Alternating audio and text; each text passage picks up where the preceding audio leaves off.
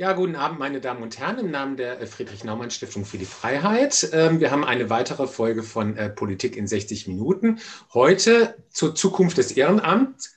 Ohne uns läuft hier gar nichts. Und ähm, ich würde vorschlagen, dass wir einfach noch einen kleinen Moment warten, weil die Teilnehmerzahlen, die erhöhen sich ja so im Laufe der Zeit und äh, dann geht es gleich richtig los.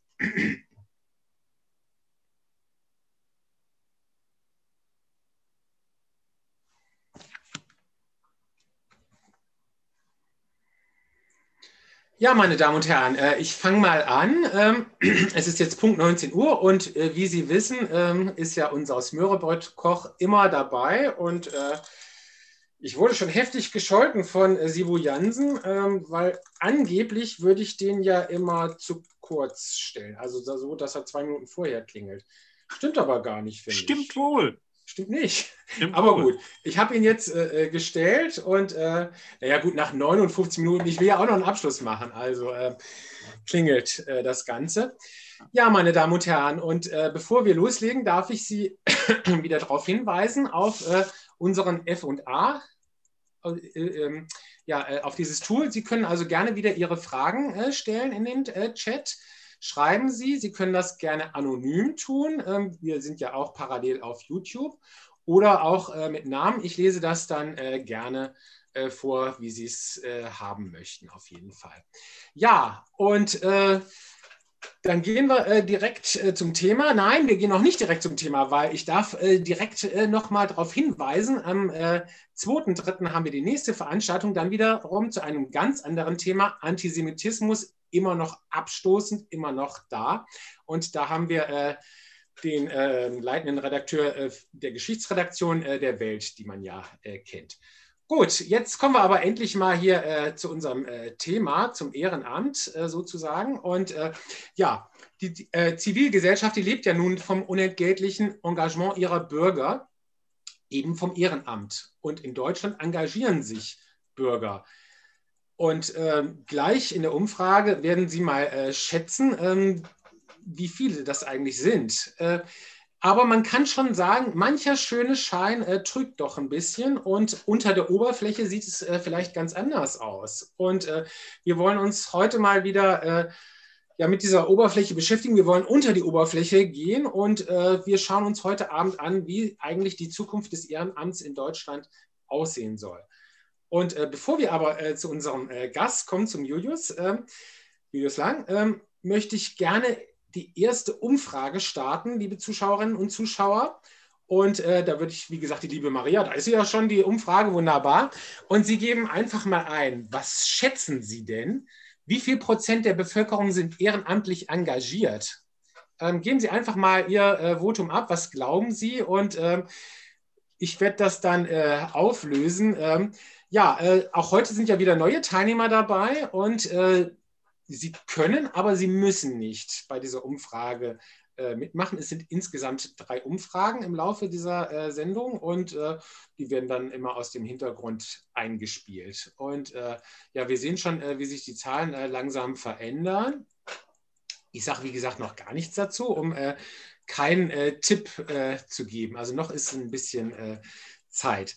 Ja, und um etwas äh, genauer hinzuschauen, haben wir uns einen Gast eingeladen, wie gesagt. Und äh, der Gast, Julius Lang, kommt aus der Praxis und weiß, wovon er spricht, weil letztendlich, äh, wir haben uns das ja, oder ich speziell, äh, ich habe mir das ja nur angelesen und äh, ja, von daher ähm, würde ich einfach mal den äh, Julius äh, bitten, äh, das Projekt äh, vorzustellen. Und äh, du kommst von der Caritas in Köln. Aber bevor du das tust, äh, sage ich gerade noch das Umfrageergebnis. Das ist nämlich gerade gekommen. Ähm, und ich sehe, ähm, das sieht ziemlich gut aus. Also, ähm, was schätzen Sie? Wie viel Prozent der Bevölkerung sind ehrenamtlich engagiert?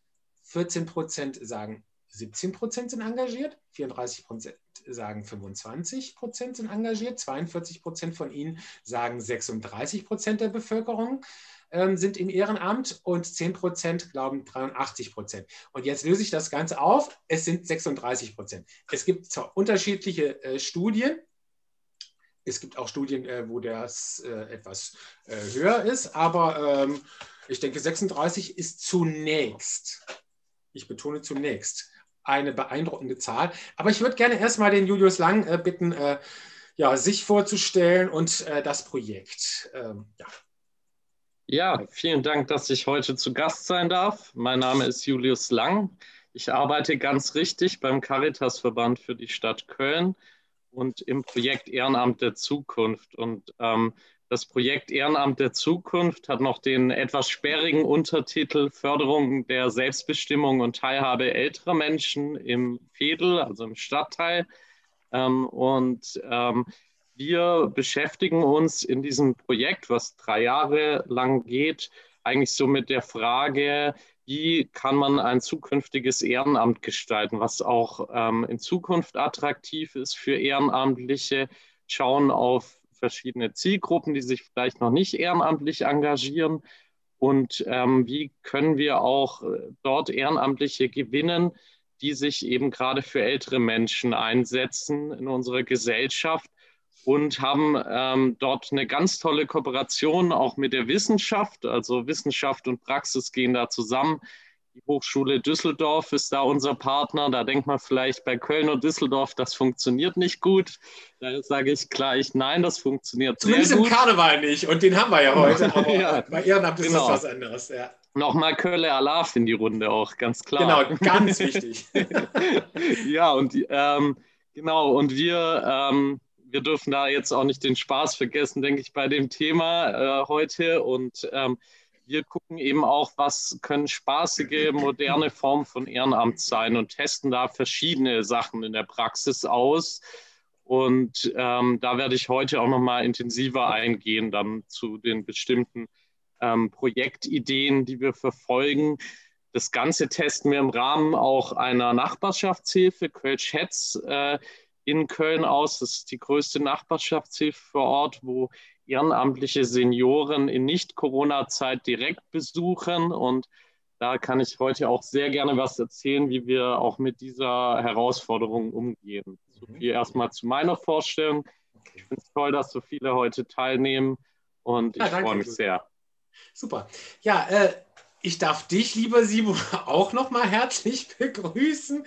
Und äh, ja, du bist ja heute mehr als unser üblicher Erklärbär, ähm, der auch noch auf die verwegensten Fragen äh, Antwort hat. Äh, apropos Fragen, äh, meine Damen und Herren, wie gesagt, das hatte ich ja schon mal gesagt, Sie können also äh, frisch frei von der Leber weg Ihre Fragen äh, stellen. Einfach in den Chat schreiben und ich lese das vor. Was ich noch nicht gesagt habe, was das Ganze einfacher macht Schreiben Sie einfach ein S davor, wenn es für Sibo Jansen sein soll, die Frage. Schreiben Sie ein J davor, wenn das für Julius Lang sein soll. Ja, das wäre sicherlich äh, einfacher.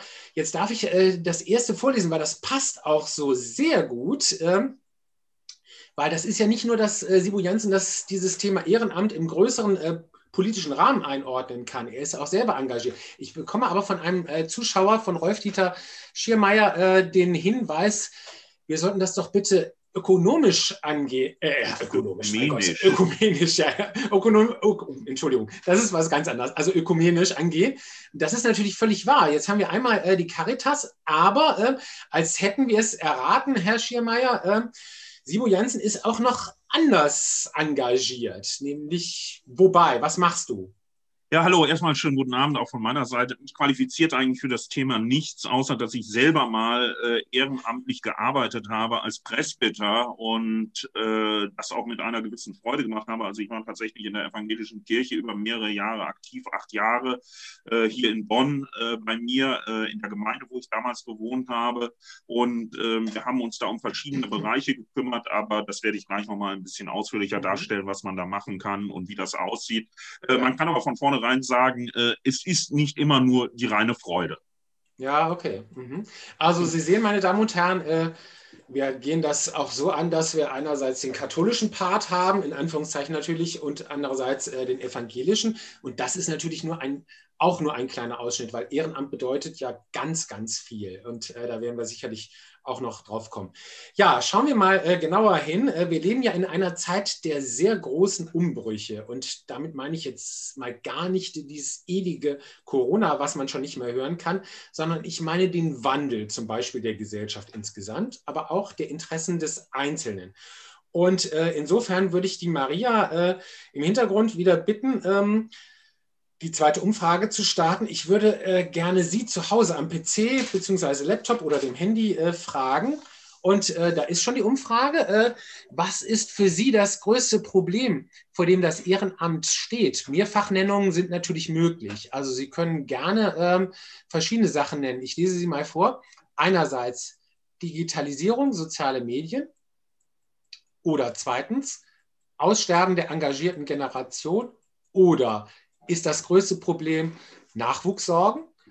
Oder ist es der gesellschaftliche Wandel? Oder sind es andere?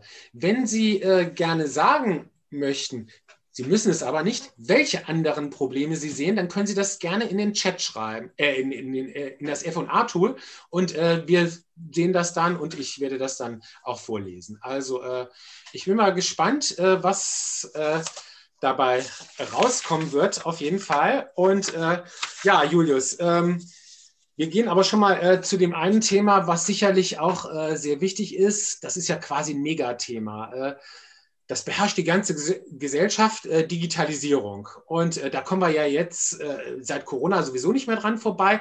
Aber das ist ja nicht nur, nicht nur ein Thema seit Corona, das war ja durchaus auch schon vorher da. Aber Digitalisierung im Ehrenamt, wie kann ich mir das konkret überhaupt so vorstellen? Wie ist das zu spüren? Also es ist wahrnehmbar für uns, dass Digitalisierung eh in den letzten Jahren immer mehr eine Rolle spielt, weil das den Lebensalltag der Menschen prägt, ganz persönlich von mir, aber auch von anderen.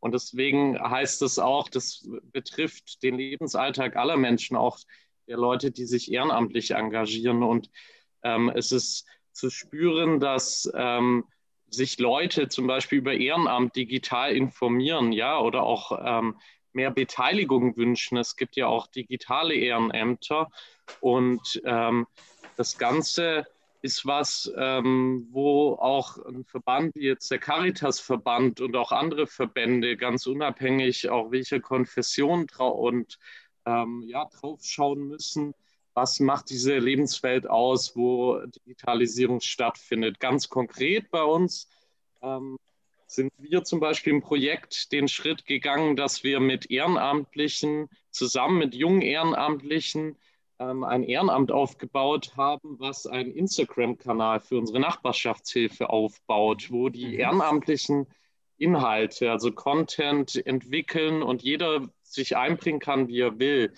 Und ähm, gerade das Digitale kann eben auch eine Möglichkeit sein, ähm, dass man sich in einem sozialen Bereich in einer anderen Form organisiert, ja, dass man Absprachen trifft. Jetzt in der mhm. Corona-Zeit natürlich spielt das Ganze noch eine größere Rolle, da direkte Begegnungen ähm, äh, nicht mehr in der Form so einfach stattfinden können. Und ja, ja. zum Beispiel bei Kölsch Hetz ist es so, in der Nachbarschaftshilfe, dass die Ehrenamtlichen ähm, sich austauschen digital, zum Beispiel über jetzt so eine Videoplattform wie Zoom oder MS Teams. Und mhm. ähm, ähm, das ist auch äh, ein wichtiger Punkt. Und gerade die äh, jüngere Zielgruppe spricht man darüber an, aber man merkt auch bei den älteren Menschen oder auch ähm, ja, bei eigentlich allen Menschen, dass das zunehmend Thema wird, dass ähm, Senioren zum Beispiel mit ihren Enkeln per Videotelefonie unterwegs sind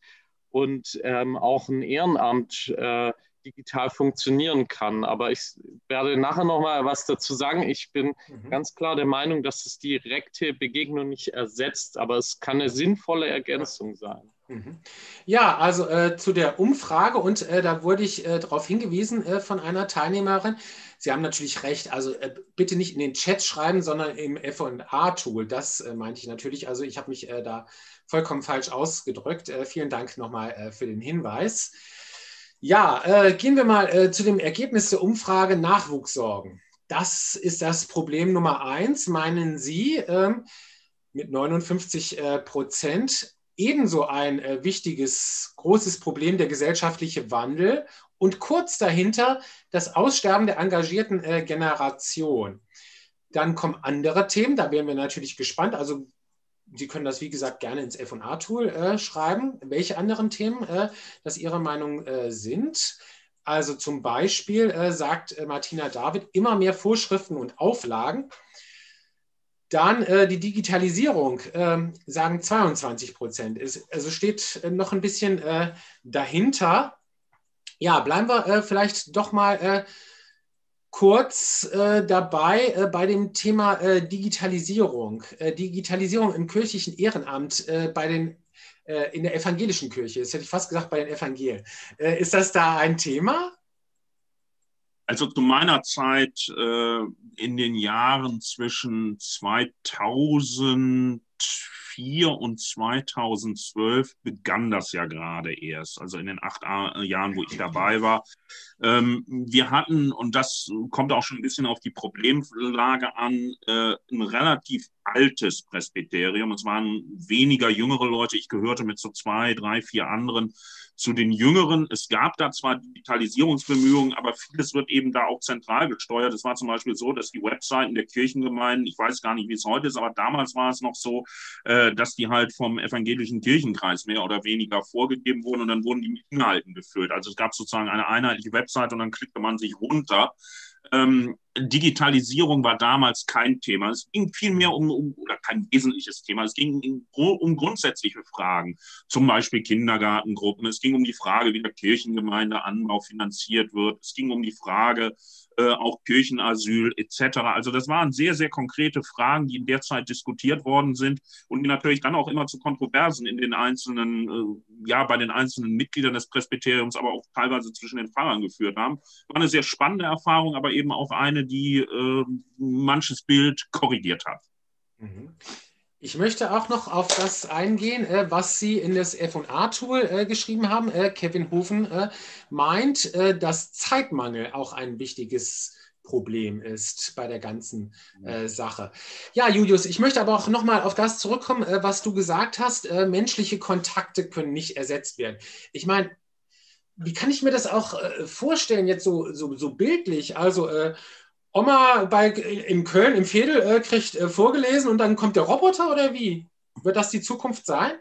Nein, ich denke nicht. Also wir merken das ja gerade in dieser Phase alle. Ich glaube auch unabhängig von der Generation, dass Begegnungen und sozialer Austausch nicht in der Form von einem Roboter eins zu eins zu ersetzen sind oder in der Form von einem Videogespräch. Ja, das hat auch seinen Reiz, es hat auch Vorteile aber ähm, ersetzbar ist das Ganze nicht, weil wir uns nach direkter Begegnung alle sehen, denke ich.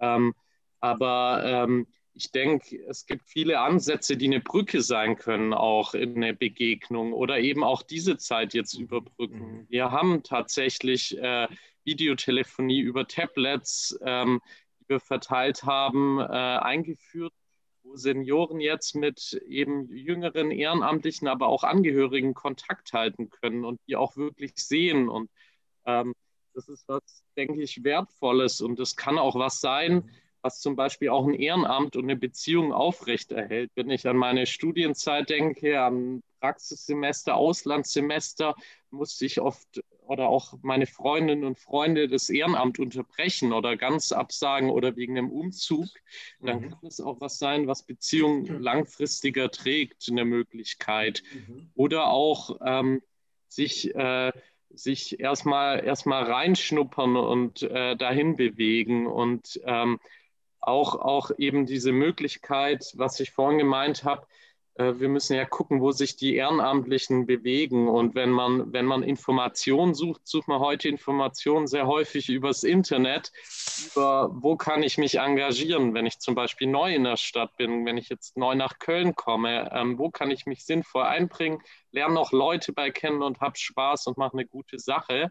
Und da ist für mich aus meiner Sicht Digitalisierung nicht die Gefahr, sondern eine Chance, eine Brücke auch zu einer echten Begegnung und ähm, eine Möglichkeit, auch Beziehungen aufrechtzuerhalten. Ich möchte auch äh, nochmal auf das eingehen, äh, was Sie, liebe Zuschauerinnen und Zuschauer, äh, in äh, das FA-Tool geschrieben haben, unter äh, anderen äh, Problemen, vor denen das Ehrenamt äh, steht. Bianca Hofmann ähm, schreibt rechtliche Anforderungen, insbesondere im Bereich Kinder und Jugend. Dann äh, ein anonymer Zuschauer ähm, schreibt, Politisierung äh, des Ehrenamtes ist ein wesentliches Problem. Ähm, ich möchte äh, darauf eingehen noch, äh, Sibu Jansen, ähm, Jetzt sind wir ja heutzutage alle vernetzt. Also du ja nicht, ne? Also so mit Social Media und so. Ähm, aber äh, ich sag mal, die normalen Menschen unter uns äh, sind ja äh, vernetzt und ähm, das ist ja quasi Teil des Alltags geworden. Also mal hier ein neues Profilbild auf Instagram äh, hochladen oder was auf Facebook po posten oder äh, sich selbst äh, mit einem Video bei TikTok inszenieren und so weiter und so fort. Würdest du sagen, ähm, Social Media ist der Tod ehrenamtlichen Engagements? Also A, finde ich es interessant, dass du sozusagen den Newspeak schon völlig übernommen hast und es als normal ansiehst, dass man auf den äh, sogenannten sozialen Medien aktiv ist und dass das Analoge mittlerweile offensichtlich unnormal ist, die reale Begegnung. Also das ist der eine Punkt. Der zweite Punkt ist, ähm, ich glaube, das Ehrenamt äh, stirbt nicht äh, alleine wegen der sozialen Medien. Natürlich, äh, was wir sehen, ist sehr häufig, dass auch lange vor Corona Menschen viel weniger soziale Kontakte nach gepflegt haben, eben weil es Facebook gibt, weil es andere äh, Kanäle gibt, denen, in denen halt vorgegaukelt wird, dass man Freunde hat, dass man Kontakte hat, etc. etc. Das führt also sozusagen ein Stück weit zu einer Selbstrücknahme und zu einer weniger aktiven Gesellschaft. Aber das Problem des Ehrenamtes, und das haben die Zuschauer ja auch schon gesagt, ist natürlich, dass die aktive Generation ausstirbt. Da müssen wir gleich nochmal drüber reden. Es ist natürlich nicht so, dass die Jugend sich komplett sozusagen rauszieht, aber diese allgemein umfassenden Fragen, werden weniger als wesentlich angesehen als konkrete Fragestellungen. Wobei, Sibo, da äh, würde ich gerne mal äh, die Frage von äh, Rolf Dieter Schiermeier äh, dazwischen nehmen. Äh, wie definieren wir eigentlich ältere Menschen? Das Ehrenamt wird doch stark von Berufstätigen ausgeübt.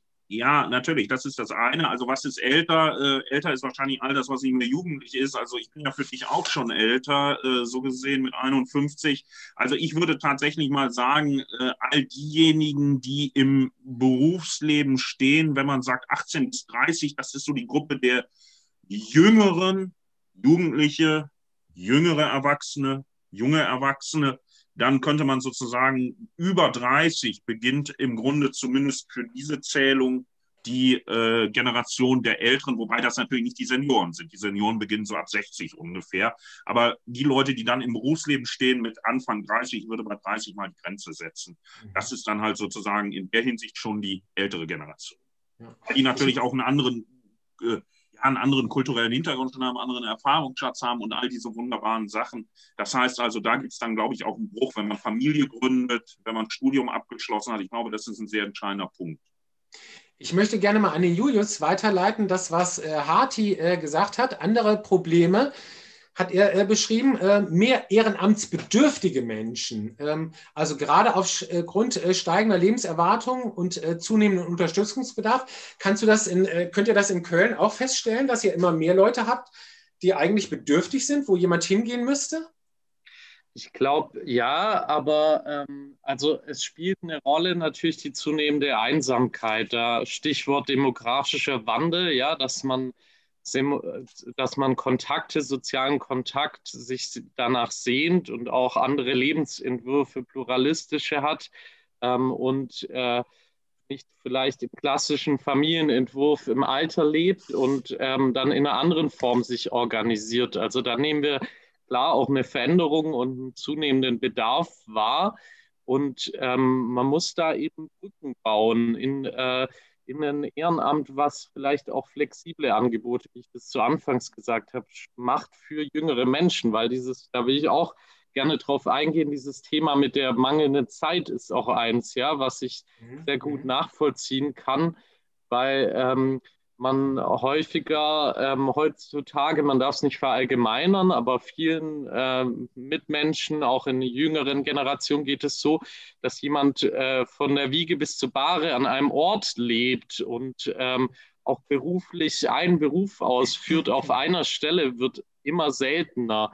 Und daher ist es umso wichtiger, da auch kreative Brücken zu finden, um soziale Kontakte, um diesen, diesen, diesen Schatz an Ressourcen auch zu heben, weil ich nehme schon auch wahr, dass Ehrenamtliche, es melden sich viele jüngere Ehrenamtliche, die sagen, ich habe zwar ein knappes Zeitbudget, ich kann mich vielleicht nicht immer einmal die Woche an einem fixen Termin engagieren, aber ich will was Soziales machen. Also mhm. ähm, ich sehe da schon enormes Engagementpotenzial und will das auch sehr positiv darstellen.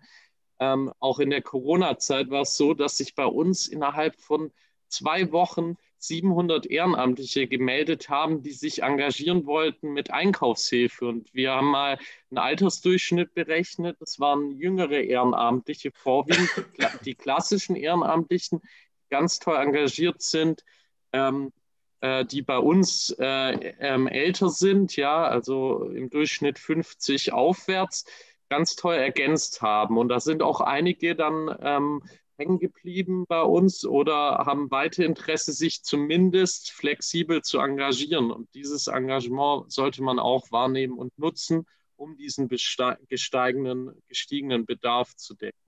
Aber das wäre, das wäre genau ein Punkt, wenn ich da kurz dran anschließen darf, den ich eben auch beobachte. Also was man sehr deutlich sieht, ist, denke ich, dass das Engagement der jüngeren Generation für, ähm, ich sage jetzt mal, eher allgemeinere Ziele wie politische Parteien, Gewerkschaften oder auch äh, Kirchen nachlässt. Sie greifen da ein, wo es um konkretes Engagement geht. Das heißt, wo es Fridays for Future, Umweltschutzbewegung, solche Sachen wie Corona-Hilfen etc., da kann man sie durchaus motivieren. Aber ich sage mal, der große intellektuell-ideologische Überbau, der ist ein bisschen weggebrochen und deshalb zieht man sich halt sozusagen auf das Konkrete zurück, wo man glaubt, da kann man unmittelbar was erreichen. Ich denke, das ist ein wichtiger Unterschied noch zu meiner Generation. Mhm. Wir hatten immer sozusagen auch noch ein bisschen diesen in Anführungsstrichen ideologischen Überbau, sind deshalb in Parteien, Kirchen oder wohin auch immer gegangen. Das mhm. hat heute viel weniger. Julius, wie macht ihr das? Also wie erreicht ihr äh, diese jungen Menschen? Mhm. Wie begeistert ihr für dieses Ehrenamt? Also ich fand das sehr interessant. Ein äh, Zuschauer hat auch die Frage gestellt, äh, ja, allein dieser Begriff, das Wort Ehrenamt, ähm, das ist ja ein bisschen antiquiert. Also äh, könnte man da was anderes finden, was irgendwie ansprechender ist? Also es kommt darauf an, wie man sich selbst mit wohlfühlt und wie man sich da selbst sieht. Also ein äh, Engagement vielleicht, aber ich, ähm, ich, wenn ich an unsere jüngeren Ehrenamtlichen sehe, die sind sehr schnell zu begeistern, wenn sie, genau wie Sibo das gesagt hat, konkret schnell mithelfen können, bei einer Aktion auch, ja. Und ähm, da, wie gesagt, sollte man dann eine Brücke bauen, dass man auch weitere Möglichkeiten hat. Und wir sprechen die ganzen äh, Menschen dort an, wo sie eben im Alltag unterwegs sind. Ja, also ob das ähm, mhm. eben Social Media ist, Instagram, Facebook oder eben an, an Orten vor der Corona-Zeit in äh, Schulen, in der Uni, ähm, in Seminaren, dass man mal da reingeht und sich vorstellt oder auch es gibt auch Kolleginnen und Kollegen, die an noch informellere Orte gehen, wie mal in eine Bar oder sowas und da eine coole, kreative Postkarte hinlegen, die Lust macht, sich mal ehrenamtlich ähm, zu engagieren. Ich denke, man muss viele Brücken bauen, wie dass man ähm, die Möglichkeit gibt, auch mal reinzuschnuppern in ein Ehrenamt, ja, dass man ähm, vielleicht auch ähm, das Thema auch Wertschätzung nach vorne stellt. Was ich auch merke, ist ein Anschlussmotiv, also dass gerade Begegnung im Ehrenamt sehr eine große Rolle spielt für jüngere Menschen mhm. und dann halt auch zeitgemäß ähm, ähm, auf den Punkt gebracht zu sagen, was ist die Tätigkeit und schnellen Kontakt herzustellen. Also in dieser beschleunigten Welt ist es einfach wichtig, schnell jemanden abzuholen und bei jüngeren Menschen gerade auch äh, Verantwortung zuzutrauen. Also, dass man nicht, nicht gleich sagt, ja, ähm, von, von oben herab, das und das sind jetzt deine Tätigkeiten, sondern jemand erstmal zuhören, was er denn will. Ähm, ich nehme mir dafür viel Zeit am Anfang, erstmal mit Leuten zu sprechen und zuzuhören. Was haben die für eine Biografie? Was haben die denn für Vorstellungen von dem Ehrenamt? Und dann zu gucken, wie passt das gut rein weil das ist dann auch der beste Weg, ein kontinuierliches, beständiges Ehrenamt für Jüngere dann auch anzubieten.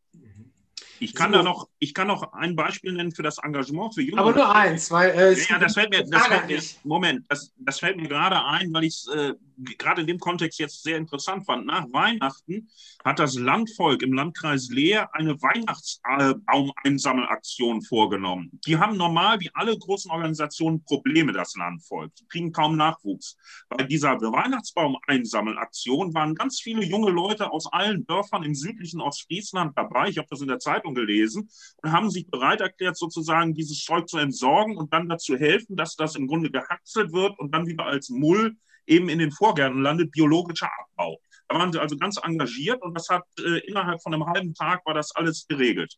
Ansonsten sitzen die da immer mit den gleichen Landwirten, die da schon seit 25, 30 Jahren sitzen. Also das heißt, man muss konkret an die Leute rangehen, offensichtlich. Mhm. Ja, Sibo, äh, an dich äh, die Frage. Äh, ist es richtig? Früher wurde, wurden ihr Ehren, Entschuldigung, Ehrenamtler äh, geschätzt. Heute muss der Ehrenamtler aufpassen, dass er nicht das Gesetz überschreitet. Und da sind wir ja quasi äh, bei der anderen äh, Bemerkung, die ein äh, Teilnehmer gemacht hat, immer mehr auf, eine Teilnehmerin, Entschuldigung, eine, immer mehr Auflagen, immer mehr Regeln, immer mehr Gesetze. Wie siehst du das? Natürlich sind wir in Richtung einer stärker verwalteten Welt gegangen, als das früher der Fall war. Wobei man sollte die Vergangenheit auch nicht verklären. Schon Max Weber hat über die verwaltete Welt geschrieben um 1900 rum. Ähm, was natürlich klar ist, die Anforderungen sind auch äh, schwieriger geworden, datenschutzrechtlich, äh, was auch bestimmte Umgangsformen miteinander angeht, etc. etc. Ich finde das aber nicht grundsätzlich verkehrt. Ich finde, wir brauchen diese hohen Rechtsstandards, um sozusagen auch abgesichert zu sein für die Ehrenamtler. Es hilft ja nichts, wenn man sozusagen etwas macht und am Ende stellt sich raus, es war halblegal oder gar nicht legal, sondern es geht ja darum, dass Leute, die sich engagieren, auch ein Höchstmaß an Rechtssicherheit haben. Und zu Rechtssicherheit gehört eben neben den Rechten auch die Pflichten und die Verantwortung, die man übernimmt in einem solchen Ehrenamt. So gesehen ähm, ich weiß, dass das früher manchmal so ein bisschen wurschtig geregelt wurde oder so ein bisschen unter der Hand geregelt wurde, aber ich finde es eigentlich ganz gut, dass wir da einen Schritt weiter sind, dass wir klare Voraussetzungen haben, gerade auch was Datenschutz angeht. Ja, wenn ich, äh, wenn ich mich erinnere, wie früher mit Daten umgegangen wird. Äh, das ist äh, sehr gut, dass du das sagst, weil auch da ist eine Frage nach dem Datenschutz, gerade jetzt in Zoom-Zeiten. Ja, also das ist natürlich eine große Frage. Gut, Zoom hat nachgebessert. Ich bin jetzt kein Experte für diese Fragen, aber Zoom hat nachgebessert, weil es war natürlich, ich weiß, dass äh, in meinem eigenen Bereich Universitäten durchaus eine Diskussion, können wir mit Zoom arbeiten? Lange Zeit hat man gesagt, nee, machen wir nicht. Äh, jetzt macht man es doch, weil Zoom halt datenschutzrechtlich nachgebessert hat. Aber das zeigt ja schon auch diese Debatte, dass man heute da etwas vorsichtiger, zu Recht vorsichtiger ist und dass man nicht mehr im Grunde die Daten wortwörtlich auf die Straße schmeißt, der Leute, die engagiert sind oder auch der Leute, denen da geholfen wird. Ja? Also das muss man auch sagen. Und wir haben jetzt, letzter Satz, einen Riesenskandal in den Niederlanden. Da sind nämlich von dem äh, äh, niederländischen RKI, Robert Koch Institut vergleichbar, massiv Daten von äh, Corona-Patienten und Leuten, die geimpft worden sind, auf der Straße gelandet, weil man die datenschutzrechtlichen Bestimmungen nicht eingehalten hat. Das ist jetzt ein Riesenskandal und das kann natürlich nicht sein. Mhm. Deshalb, also Datenschutz ist ein wichtiger Punkt. Ja. Dann, äh, Julius, an dich äh, die Frage. Ähm, Dieter Baumgarte fragt, äh, gibt es einen Überblick zu den Altersstrukturen der Ehrenamtler? Also hinsichtlich äh, äh, auch Berufstätige sind, oder sind es Rentner oder Pensionäre? Oder wird das sogar nach Jahrgängen aufgeschlüsselt? Habt ihr also Überblick? es gibt bei uns gibt es einen Überblick, ja. Also haben wir eine Statistik, wo wir sehen, dass gerade auch bei Kölsch-Hetz sich gerade viele Pensionäre und Pensionärinnen eben engagieren. Ähm, das äh, finde ich sehr, sehr lobenswert und wir sind eben dran, das auch intergenerativer zu öffnen. Ja, weil das muss man auch immer dazu sagen, es ist wichtig, dass es, es ist kein Gegeneinander oder das ist besser oder das ist schlechter. Es ist mhm wunderbar, wenn sich so ein Team sinnvoll ergänzt durch verschiedene Generationen mit Leuten, die viel Erfahrung haben und mit welchen, die gerade neu durchstarten.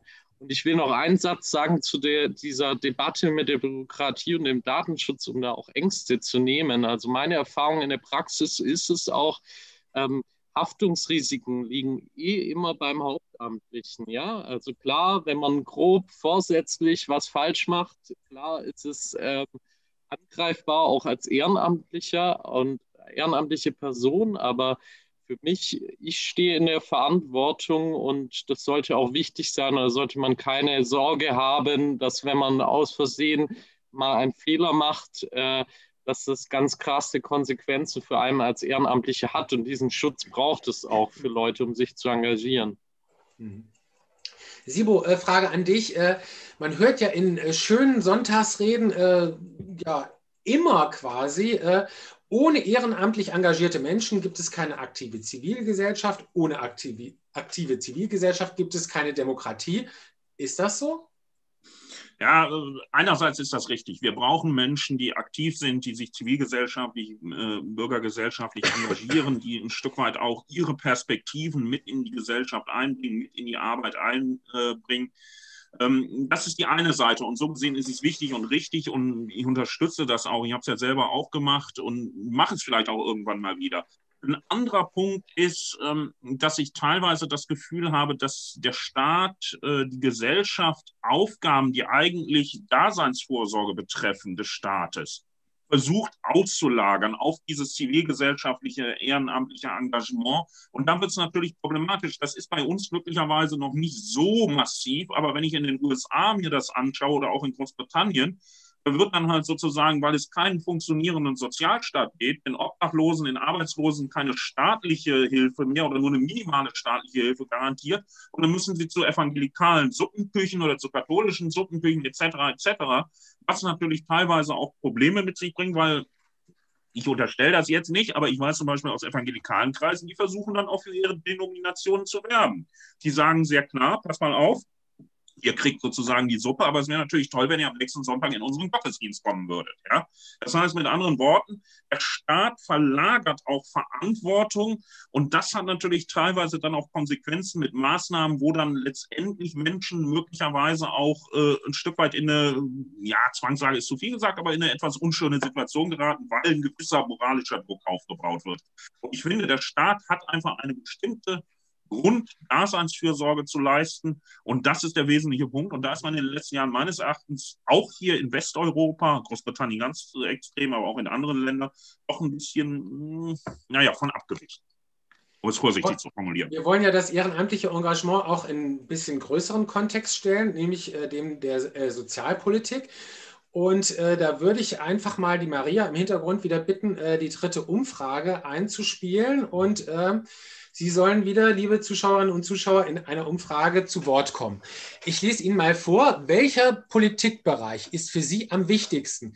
Und hier müssen Sie sich entscheiden. Also wir haben ganz bewusst äh, keine Mehrfachnennungen zugela äh, zugelassen. Äh, Sie dürfen also nur für einen Bereich äh, stimmen und das ist mal ganz interessant. Also einerseits haben Sie hier die Wahl zwischen Außen, Verteidigung, internationales Europa, haben wir alles einfach mal so zusammengefasst. genau, da, äh, da hebt äh, Sibu Jansen quasi vor Freude ab. Dann, äh, er freut sich wie ein Schnitzel sozusagen. Ähm, den Ausdruck habe ich jetzt neu gehört, ähm, muss ich direkt mal anbringen. Äh, oder ist es die Umweltpolitik? Oder ist es das Thema Wirtschaft, Finanzen? Ist es das Thema Soziales für Sie? Wir lassen das jetzt mal ganz bewusst in diesem ganz weiten Sinne. Oder ist es vielleicht das Thema Bildung? Oder Sie können natürlich auch sagen, äh, keiner, für mich ist etwas anderes interessant. Sie können gerne wieder äh, ins FA-Tool schreiben, welcher Bereich äh, das wäre. Oder ähm, Sie sagen, hm, ich bin unentschieden, ich weiß nicht, es ist mir egal. Das äh, können Sie gerne äh, alles ankreuzen. Sibo Janssen, ähm, wenn ich mir das so angucke, also der Stellenwert der Sozialpolitik der Hierarchie, in der Hierarchie äh, der Politik heute. Also machen wir es mal ganz konkret an Namen fest. Äh, früher war das so, da gab es Norbert Blüm in der CDU. Ähm, ja, Geisler man, oder Das ist der äh, Sozialzampano der CDU ja. sozusagen. Dann, äh, jeder kannte den ja quasi. Es gibt äh, bei der SPD vor allem äh, große Gewerkschafter oder Gewerkschafterinnen. Also ich sage jetzt einfach mal äh, Monika Wolf-Mattis als Beispiel. Äh, die kennen ja noch viele. Oder in der FDP werden sich einige noch an äh, Dieter Julius äh, Kronenberg erinnern. Und heute haben wir Hubertus Heil in der SPD. Ja, und sonst nichts. Und äh, lassen die Parteien, Janssen, äh, dieses Feld weitgehend äh, brach? Was ist eigentlich mit der CDU, mit der FDP, mit den Grünen und äh, der Partei, die ja eine Alternative für Deutschland sein will, angeblich? Ja gut, da könnte man jetzt natürlich ein eigenes Seminar zu allein zur AfD und ihrer Sozialpolitik. Die Sozialpolitik der AfD ist natürlich eine völkisch nationalistische Sozialpolitik, die im Grunde, wenn sie denn existiert, wir haben das ja auf diesem Parteitag gesehen, äh, all diejenigen ausgrenzen will, die nicht in Anführungsstrichen deutsches Blut in ihren Adern haben. Äh, so gesehen lasse ich die mal zur Seite. Ansonsten gibt es natürlich eine Partei, die explizit Sozialpolitik macht und die das auch als Schwerpunktthema hat. Das ist die Linke in allen anderen Parteien spielt Sozialpolitik eine Rolle, ist aber tatsächlich durch zwei Faktoren in den letzten Jahren etwas in den Hintergrund geraten. Das eine ist, Grüne und Sozialdemokraten können Sozialpolitik nur noch begrenzt auf ihre Fahnen schreiben durch die Agenda 2010, damals mit Gerhard Schröder. Das muss man sehr klar sagen. Bei der CDU ist es sicherlich so, dass diese alten Sozialpolitik äh, Geißler, Blüm ausgestorben sind letztendlich und es ist schwierig, da auch zumindest gleichzeitig äh, gleichwertig charismatische Politiker zu finden. Ähm, die FDP hat nach wie vor Sozialpolitiker, aber äh, natürlich sieht die FDP das eher stärker von der, äh, ich sage jetzt mal, freiheitlich-marktwirtschaftlichen Perspektive auf Sozialpolitik. Das große Problem ist, und das ist der zweite Grund, den halte ich für den entscheidenden, viele Probleme, die mit der Globalisierung zusammenhängen, die mit der Zukunft zusammenhängen, der äh, Sozialstaatlichkeit in Europa, können nicht mehr national gelöst werden, sondern du brauchst eigentlich europäische Lösungen der, oder globale Lösungen. Der EU fehlen aber die Möglichkeiten. Gleichzeitig ist es aber so, dass klar ist, dass im Grunde der Nationalstaat alleine sozialpolitisch nicht mehr handeln kann. Was ist mit dem Mindestlohn? Wir können hier einen Mindestlohn einführen. Wollen wir jetzt nicht darüber diskutieren, ob richtig oder falsch. Aber, und das ist der entscheidende Punkt, eigentlich bräuchtest du, wenn du so etwas willst, einen Mindestlohn auf europäischer Ebene. Den hast du aber nicht, weil die EU die Kompetenzen dafür nicht hat. Und das führt natürlich dazu, dass wir eine ganze Reihe von Problemen haben, die eigentlich national nicht mehr lösbar sind, die aber tatsächlich sozusagen äh, immer noch vorgegaukelt wird, dass sie national lösbar sind. Das sehe ich als Problem an, tatsächlich. Gehen wir mal zum Ergebnis äh, der Umfrage. Sie haben sich entschieden, meine Damen und Herren, äh, welcher Politikbereich ist für Sie am wichtigsten? Und da sagt äh, eine relative Mehrheit Bildung ist das Wichtigste. Also das ist auch äh, durchaus äh, sehr interessant. Das wäre vielleicht vor einigen Jahren noch ein bisschen anders gelaufen. Knapp dahinter mit 29 Prozent kommt schon die Sozialpolitik. Äh, ansonsten 12 ähm, Prozent, 17 Prozent äh, sagen äh, Umweltpolitik, 12 Prozent sagen Außenverteidigung, internationales Europa und 7 äh, Prozent sagen Wirtschaft und Finanzen und 2 Prozent sagen keiner davon. Also insofern äh, denke ich, ist das doch äh, recht aufschlussreich. Ich möchte aber, Julius, auch nochmal eingehen auf äh, die Umfrage, die wir äh, vorhin äh, gestartet hatten. Und da haben Sie ja angekreuzt äh, Nachwuchssorgen. Und ähm, da würde ich gerne mal fragen, also die Caritas ist ja nun eine, doch eine relativ große und alteingesessene Organisation, also über 100 Jahre gibt es sie ja. Und gibt es diese Nachwuchssorgen und in welchen Bereichen habt ihr die?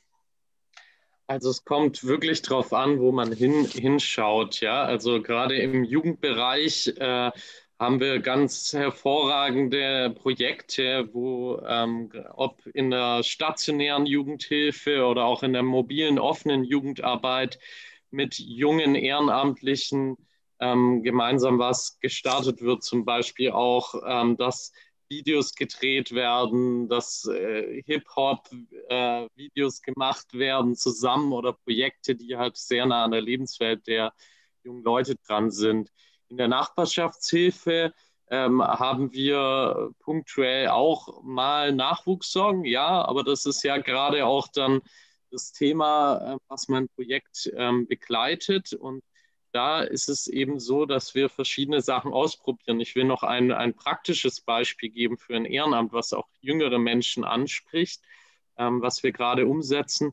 Wir haben ähm, eine sogenannte Seniorenrikscha jetzt in zwei Kölner Fädeln angeschafft, wo eben äh, fahrradversierte Menschen, auch gerade jeden Alters, aber auch insbesondere jüngere Menschen mit dieser Rikscha Senioren Ausflüge ermöglichen. Und das kann man ja auch einmal im Monat machen als Ehrenamtlicher oder wenn man gerade Lust hat und sich eintragen und ähm, Spaß dran haben. Ah, und ja. genau das ist das Thema. Ich habe das auch in, im äh, F und A äh, gesehen.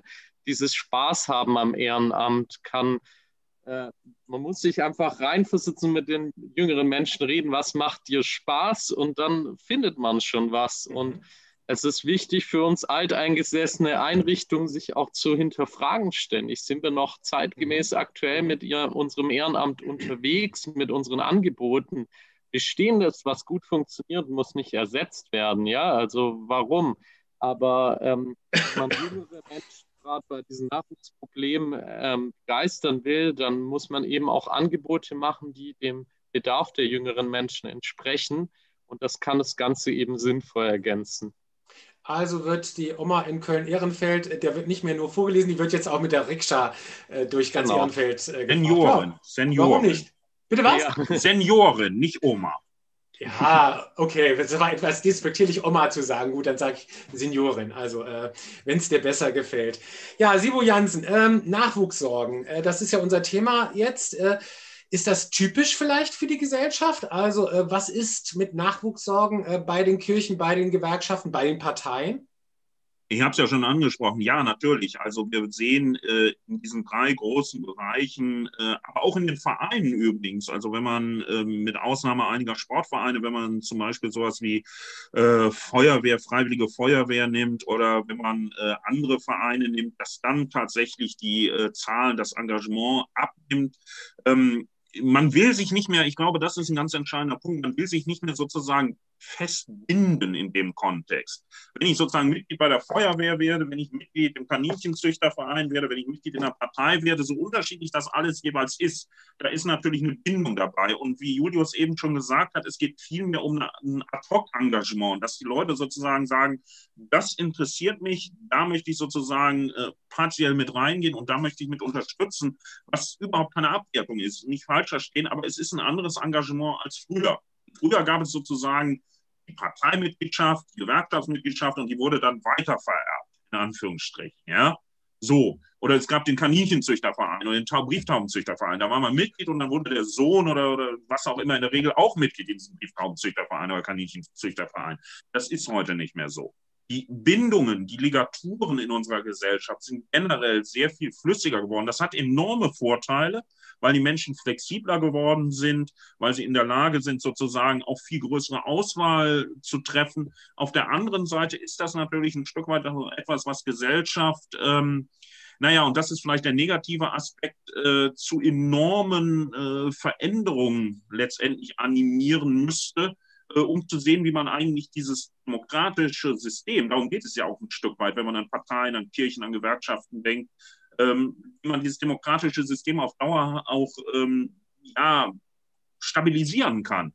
Und die Fliehkräfte sind das eine, ähm, die Ligaturen sind das andere. Und es ist im Moment noch nicht klar, in welche Richtung es geht. Und wir haben also im Moment eine sehr gemischte Bilanz, würde ich sagen. Wir haben sehr positive Aspekte dieser ähm, Auflösung der traditionellen Strukturen, aber wir haben eben auch die negativen Aspekte mit Entwurzelung und so weiter. Ja einhergeht. Wie, wie, muss ich mir das äh, vorstellen? Also, äh, wie sprecht ihr von der Caritas äh, junge Menschen an? Also geht das alles über so Social Media? Meine, wir kennen das Beispiel noch von früher. Ähm, da gab es beim Deutschen Roten Kreuz die silberne Ehrennadel. Und äh, ja, Julius, was gibt es bei euch? Kriegst du auch eine Ehrennadel? Also bei uns gibt es keine Ehrennadel, soweit ich das nicht, soweit ich das weiß, aber diese Ehrennadel gibt es wirklich noch beim Deutschen Roten Kreuz Zwinker.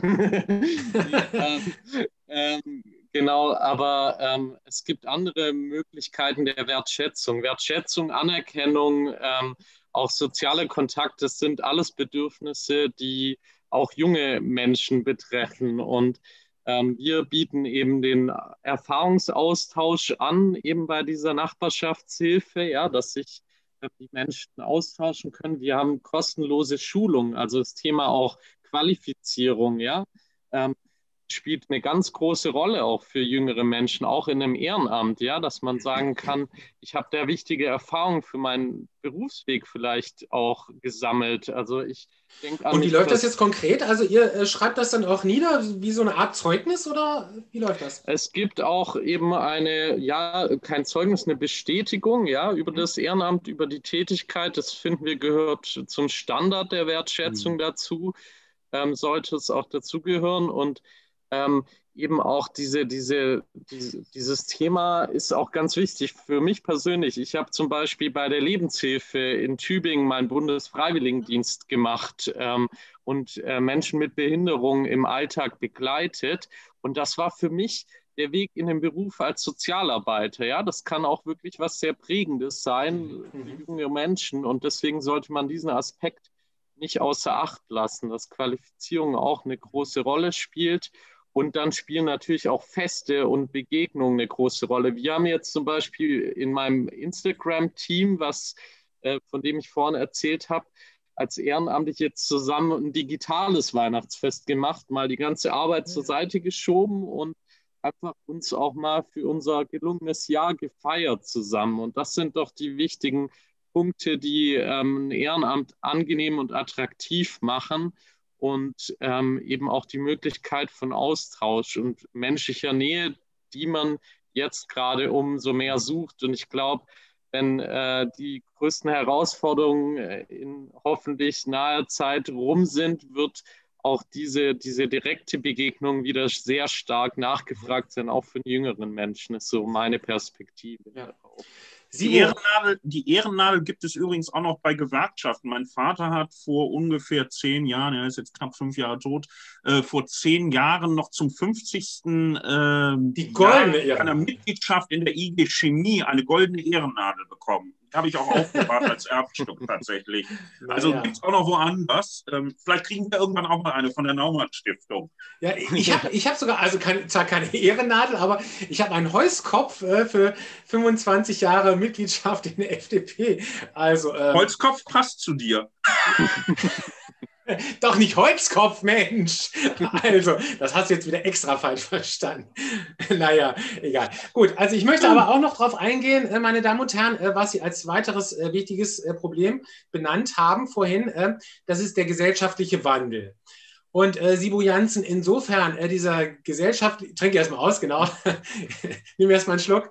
Ja, äh, dieser gesellschaftliche Wandel, also beispielsweise im Ehrenamt, äh, machte sich ja insofern bemerkbar, ähm, ich sag mal, früher, also noch eine Generation vor mir, äh, da waren Frauen hauptsächlich Hausfrauen und äh, wenn die Kinder aus dem Gröbsten raus sind, dann hat man sich ehrenamtlich engagiert. Heute arbeiten aber 70 Prozent der Frauen. Ähm, gesellschaftlicher Wandel, ist das ein großes Problem äh, für Ehrenamt, für Engagement überhaupt, auch für die Partei? Nein, also ist wieder so eine Frage, da kannst du natürlich je nach Perspektive darauf achten, wenn du sagst, okay, Frauen arbeiten heute zu 70 Prozent, äh, dann ist das natürlich auf der einen Seite etwas, was vielleicht Ehrenamt äh, für Frauen erschwert, weil sie weniger Zeit haben. Auf der anderen Seite sind natürlich die emanzipatorischen Erfolge so groß, dass Frauen viel eher als früher auch mal sich engagieren können überhaupt. Früher standen die Frauen hinter mir, früher haben die Frauen die Kinder gehütet. Ähm, und die Männer haben das ehrenamtliche Engagement betrieben in irgendwelchen schummrigen Hinterhofkneipen mit äh, Zigarrenrauch und ich weiß nicht was alles. Also so gesehen, es kommt darauf an, wie man sieht. Also für mich ist es tatsächlich so, dass ich diesen emanzipatorischen Moment dass Frauen sich wirklich aus dieser Rolle des Patriarchats befreit haben und heute wirklich auch Teil der Gesellschaft sind im Sinne von, dass sie an allen Aktivitäten partizipieren. Ob in einem ausreichenden Umfang kann man lange darüber diskutieren, aber dass sie es immerhin tun und können und möglich ist, das finde ich ein Riesengewinn. Und so gesehen ist das auch ein Gewinn für das Ehrenamt. Weil ähm, die Sackgasse, in der in mancherlei Hinsicht Parteien äh, und andere Organisationen befinden, hat ja auch damit zu tun, dass, ich sage jetzt mal in Anführungsstrichen, viele alte weiße Männer über äh, die Politik entscheiden, die auch Frauen mitstimmen sollten. Und auch jüngere Leute natürlich. Ich Immer kann auch die alten weißen Männer. Naja. Ja, drei alte weiße Männer. Nein, ein, ein nicht alter weiß, aber Julius ist noch nicht so alt. Ich kann, ich kann dazu auch was aus der Praxis ja. sagen. Also ich will, das müsste jetzt eigentlich auch eine Frau sagen, aber ich will wirklich sagen, die Beobachtung ist äh, bei uns, dass gerade die Frauen die tragenden Säulen in unserem Ehrenamt sind. Ja, also auch bei dem jüngeren Ehrenamt ist es so, dass wir 70 Prozent, das haben wir auch ausgewertet, von diesen äh, Menschen, die äh, bei der Corona-Hilfe sich gemeldet haben, bei den Einkaufshilfen, waren eben Frauen. Ja, also nur mal, um das ganz klar zu machen. Mhm, Und mhm. das ähm, ist auch wirklich, ich kann das nur unter, streichen. Also die Entwicklung sehen wir da nicht so, dass es irgendwie dieser gesellschaftliche Wandel dazu führt, dass sich gerade Frauen nicht engagieren oder so. Mhm. Ja, jetzt gibt es äh, die Frage äh, von äh, Hendrikje äh, Schürholz. Äh, Zugehörigkeit kann sich ja eben über besagte Nadeln äh, zeigen und kann dann sogar über drei Generationen gleichzeitig in ihren Amt gehen. Also das wird quasi weiter vererbt. Das kann ich gut nachvollziehen. Aber man kann ja auch äh, moderne Formen finden, also zum Beispiel Boni oder Abzeichen oder wie auch immer bei äh, Online-Spielen zum Beispiel. Äh, denkt ihr, äh, Julius, in der Caritas auch an solche Dinge, an äh, modernere äh, Formen?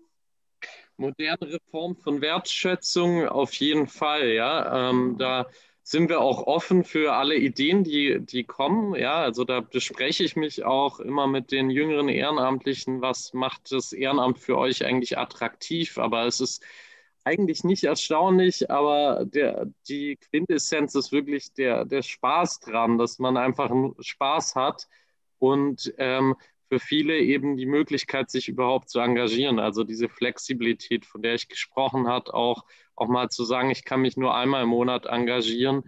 Und ähm, es gibt sicherlich Modelle, wo man auch irgendwelche Boni bei Spielen bekommt. Daran habe ich jetzt noch nicht gedacht. Das finde ich eine interessante Idee auf jeden Fall.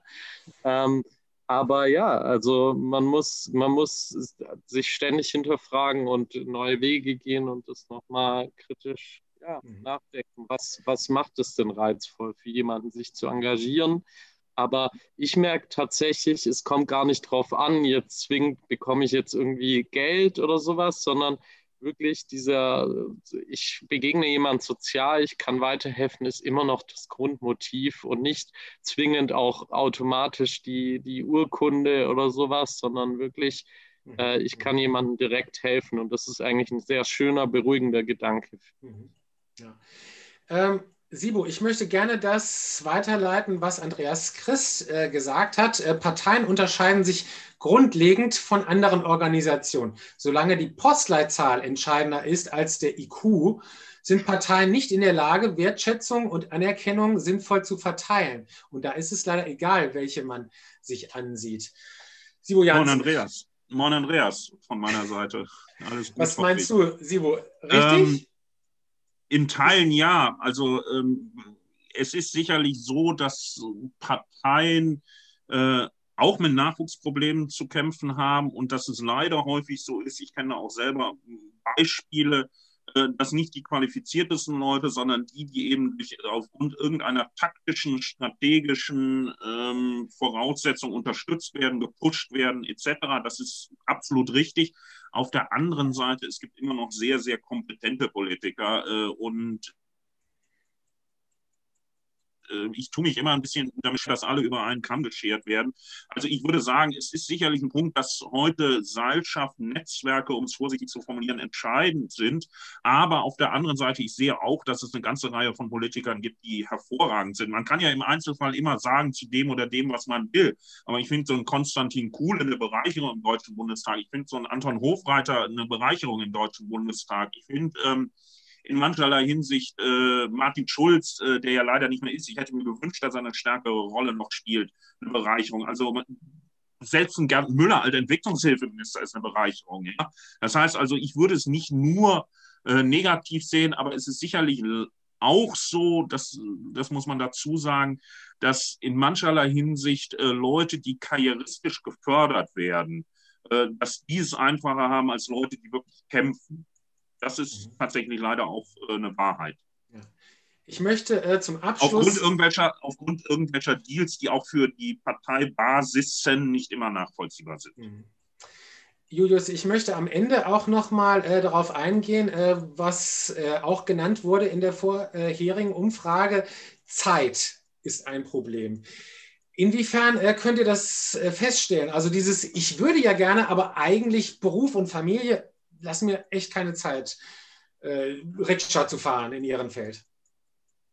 Ja, Also genau bei dem Beispiel ist es ja so, dass man dann sagen kann, okay, dann äh, komm alle zwei Monate mal, trag dich ein in den Online-Kalender und fahr die Rikscha oder mach ähm, eben aber nur, wenn, wenn es der Person auch Spaß macht und dann findet auch jemand Zeit, innerhalb von drei Monaten sich zweimal zu engagieren bei einer Aktion und ähm, das ist ein wichtiges Thema und ähm, aber wir müssen die Leute auch eben abholen, die die sagen, ich habe nicht ständig einmal die Woche Zeit zu einem fixen Termin, weil es wäre schade, dieses Engagement nicht zu ermöglichen.